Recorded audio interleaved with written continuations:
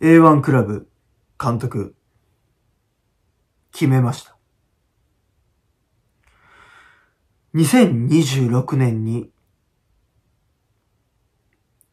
10秒台で走ります。前々から思ってたんです。子供たちにあれやれこれやれ偉そうに上から物を言ってきました。正直、昔はよく頑張っていたかなと思います。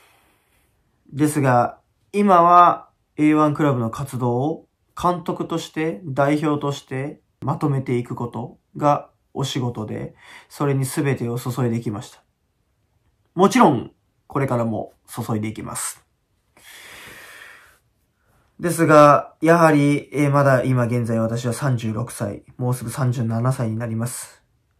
38歳の年に10秒台で走るという。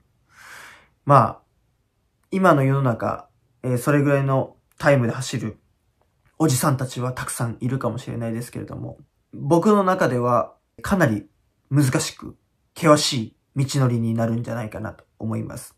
膝の手術もしましたし、何年も運動してないブランクがありますし、えーそういうことを吹き飛ばして、2年後、2026年、38歳の年に、僕は10秒台で走ります。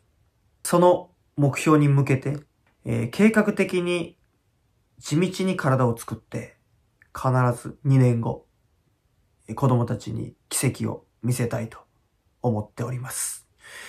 僕は本気でやるので、またその本気の様子も、この Vlog で見せていけたらなと思うので、ぜひ、えこれからも、えー YouTube の方見てやってください。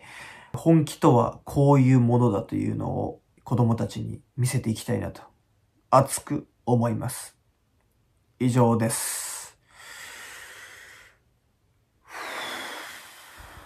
やるぜ